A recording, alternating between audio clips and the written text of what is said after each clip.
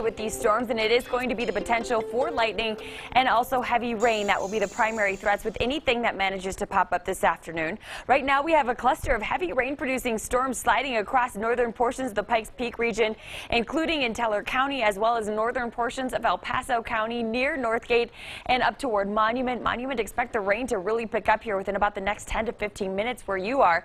These showers are continuing to slide off toward the north and east. Chipeta Park, you're getting some rain right now. Woodland Park, you're in between cells, but expect rain to clip the city here as we head through the next 30 minutes or so around the Air Force Academy. And again, up toward Northgate is where we are tracking a nice heavy burst that could impact travel along I-25. Farther toward the south, we do have a few scattered showers just off toward the west of Beulah and Rye. We are continuing to track a few scattered cells also along the Sangre de Cristo Mountains. Over the high country, we have a bit of rain to contend with as well.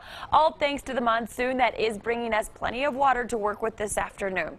Taking you into the rest of the evening, we'll keep these storms around through the beginning of the evening, but notice as we take you into the first part of tonight, most everything begins to wind down. By midnight, skies will clear and we'll continue to track that trend as we head into your early Wednesday morning. Here's a look at 7 o'clock tomorrow morning. We'll wake up once again to plenty of sunshine around southern Colorado, but we'll do it all again tomorrow afternoon. Clouds will begin to thicken up as we head into the late afternoon. I do expect scattered showers and thunderstorms to develop across the high country first. These will slide farther toward the east, eventually impacting the I-25 corridor as we take you into the late afternoon and also into the evening. This is a look at 8 o'clock. The storms tomorrow will be capable of producing heavy rain once again but they won't last for too long. By midnight tomorrow night, everything comes to an end. Temperatures tonight will be falling into the 60s and yes, 70s across the eastern plains.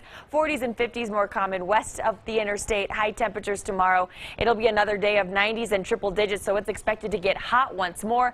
70s and 80s for our mountains and mountain valleys. We will keep this warm and unsettled pattern going through much of the work week. Through Friday, we're in the low 90s with a 20 to 30 percent chance for storms. We'll keep the chance for storms up as we head into Saturday, but notice those temperatures begin to cool back down.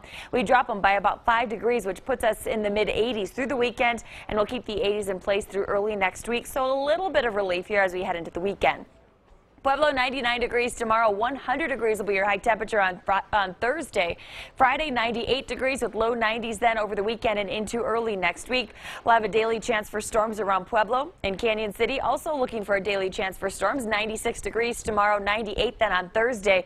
Hopefully we'll get some nice heavy rain to move over the Hayden Pass fire to help with the firefighting efforts there. 98 degrees on Thursday and then temperatures fall into the 80s by next Sunday. In Teller County tomorrow we hit 80 degrees with temperatures then then getting back into the 70s Friday through the weekend. And a daily chance for storms is also expected around Teller County, which is very typical for this time of year where we wake up to those beautiful mornings and then during the afternoon we get a few showers that move overhead and usually get out of here rather quickly. So nice to get the